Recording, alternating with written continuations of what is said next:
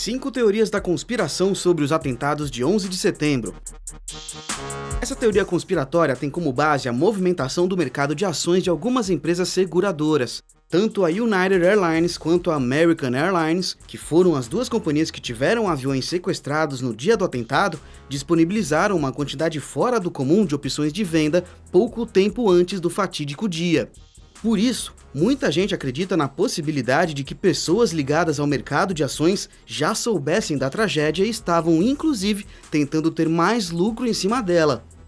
Investigadores do atentado chegaram a cogitar a possibilidade de que Osama Bin Laden, o próprio, teria recebido informações de pelo menos uma empresa de Wall Street.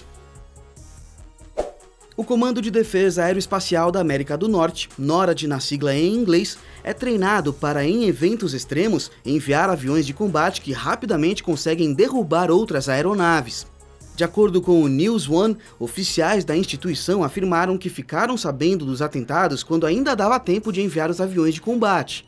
Algumas pessoas acreditam que o NORAD simplesmente decidiu não agir enquanto poderia. Será? Alguns teóricos afirmam que o impacto que o atentado teve relacionado ao famoso prédio militar do governo norte-americano foi estranhamente pequeno. Além do mais, porque o avião que atingiu a instituição não foi derrubado por órgãos como o NORAD antes. As suspeitas só aumentam com o fato de a área atingida ter sido justamente a que estava vazia e passava por reformas. E aí, será que tem caroço nesse angu?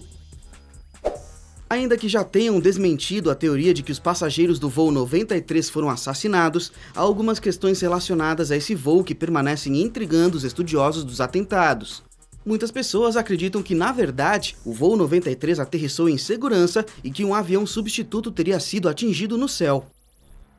Diversos especialistas são categóricos ao afirmar que seria impossível realizar ligações telefônicas das aeronaves, por causa da altitude dos aviões, que impediria que os aparelhos recebessem sinal de suas operadoras.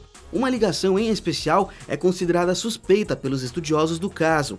Um homem teria ligado para sua mãe e, na conversa, se referiu a si mesmo usando seu nome e sobrenome. Para os conspiradores, isso é muito suspeito. Você concorda? É lógico que toda a teoria da conspiração pode ou não ser verdade. O que você acha a respeito das que abordamos hoje? Para mais curiosidades como essas, continue ligado no nosso canal e até nosso próximo vídeo.